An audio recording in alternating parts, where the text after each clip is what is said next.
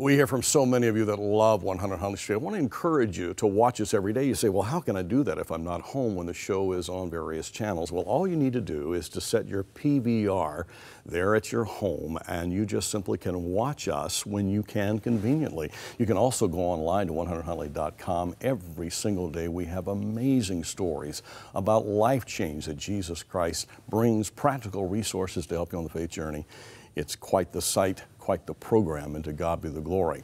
And we have a new captain here for 100 Huntley Street. I'm joined by our new Chief Executive Officer, Lorna Dueck.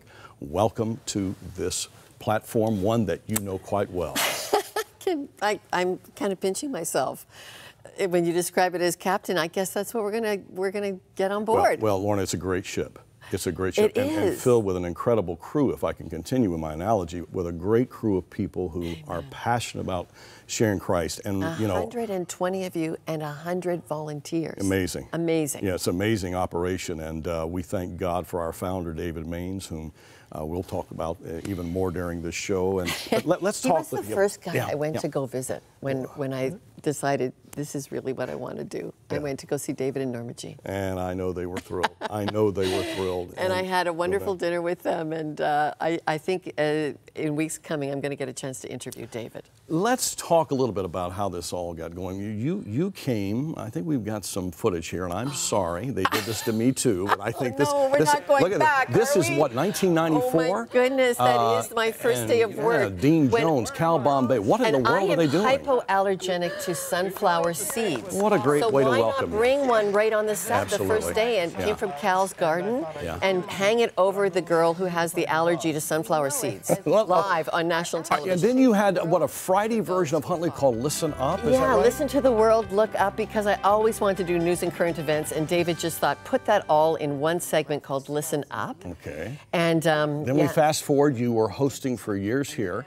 and then you would come back from time to time. and that grew into this other show, Context with Lorna Dueck, and it was an amazing opportunity yeah. to uh, just start to look at news and current events through God's heart for the world. Well, you have uh, done such great work. You headquartered your ministry, your organization in the CBC building in downtown Toronto. Media Voice Generation. Yeah. And that's going to be part of just discovering how do we work together now as two great organizations. So Context itself, you, you, you love news I think David Mainse discovered that about you when, when you came and really gave you a platform to develop news that was in its infancy here in All Things Yes TV and All Things Crossroads.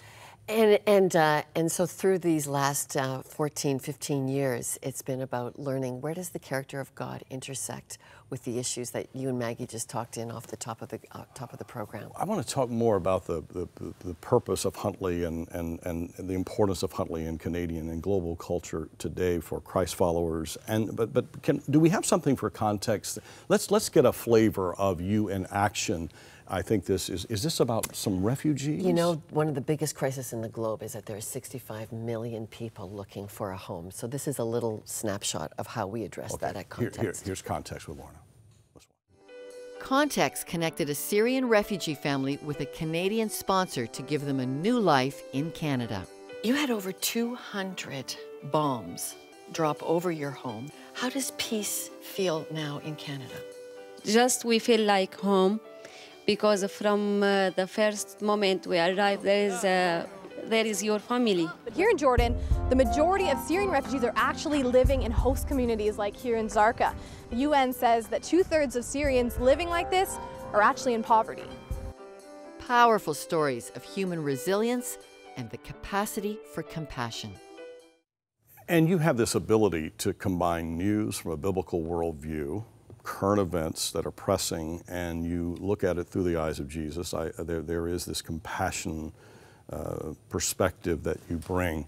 And what excites me, and I think others, as uh, we get more and more involved in seeing her leadership here, is that you will bring so much of this to 100 Huntley Street. Uh, once again, yeah. you're used to it, now you're going to do it again at a higher level. And I love the Huntley Street stories. I mean, what, what is it that has kept this show going year after year, decade after yeah. decade, as North America's longest daily talk show, is these stories of how people connect to God.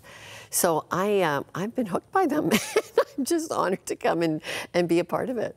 I am so thrilled uh, that you're here. Um, your true your, your commitment to biblical fidelity, your commitment to the uniqueness of Jesus Christ to transform lives, uh, your uniqueness, um, if you will, to, to, to make sure you care for people. You, you care about the folks that work here and have worked for you through the years. And one of the things I was able to do while I've been gone these many years is go to school. Yeah. And so when you talk about, um, you know, biblical fidelity, so really understanding and learning what is the centuries of tradition and the centuries of God's presence on this globe. You know, every generation has thought, "Oh my goodness, the world is ending and this is terrible." And God's faithfulness, God's truth, God's people, God's God's ways of goodness have always been there, reaching out, rescuing for people. a, a couple years ago, uh, when I was in leadership here, I called you and we had a situation in Ottawa that shook the nation. Uh, of, a, of a killing, it seemed to be a terrorist Our act, and, and we, we, we, we called you, and you very quickly assembled a team of people together, and we had one of our highest rated primetime shows at that time with what you did, and I'm grateful for you responding to that call and helping us.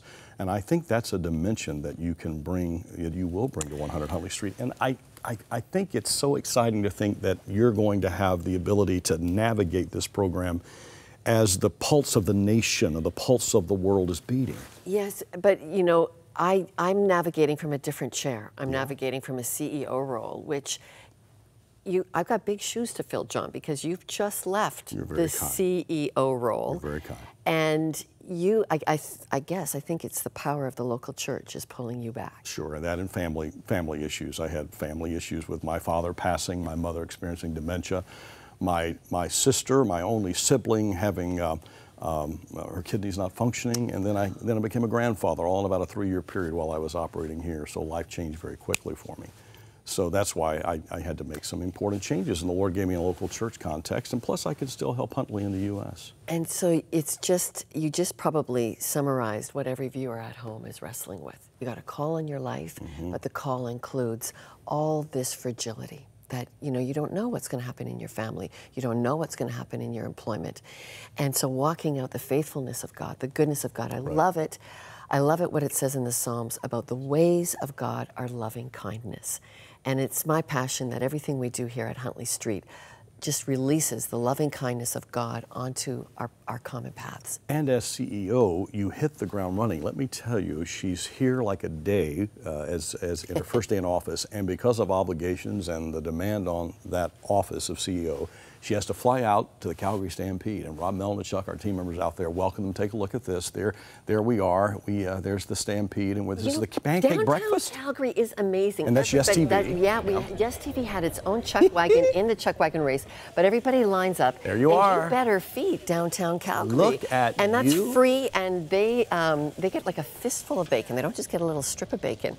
And then these these I call them the pancake Santa Clauses come out at the end. If you can't keep up with frying like Rob Melnichuk is doing, they make sure that at the end at 10:30 when the pancake breakfast shuts down. Yeah. Yeah, there's I guess is that you and That- Melissa that's Melissa? McEachern, our executive producer. and we had, yes. and that's Helen, She's who runs team, Calgary yeah. downtown, Yeah. and and then we went off to the Chuck Wagon, and here was the time for me just to listen to Crossroads Yeah, donors, yeah, great and people walk the barns, and of course I had to ask the questions about the controversy about the animals, Mm-hmm. and hear from this is like a Chuck Wagon driver here, Right. and hear that the animals love racing, they love performing, they love doing the great the great work of the greatest show on earth. It, it rained like almost every day at the Stampede this year, though.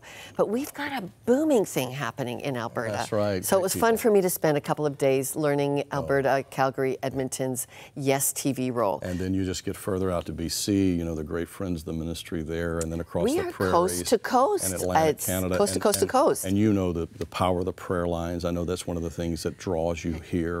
Yeah. Every day, about uh, 1,000, 1,200 phone calls a day. And that to think that this country so needs a connection and it knows 100 Huntley Street can be trusted. And so those workers and those volunteers who pick up the phone and say, How can I pray for you? What an honor to get to lead in that environment. I'm just excited about it. I'm proud of you and for you.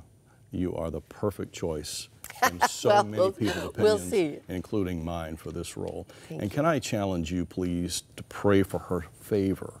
Pray for God's favor in Lorna's life. Pray for her leadership. Pray that the power of God would be seen in decisions she makes and she makes. And what do you say all of us be committed to her success as the leader of the, of the largest faith-based, most influential faith-based broadcasting entity in this nation. What a privilege. History being made, and we are so thrilled for you. Thank you, John.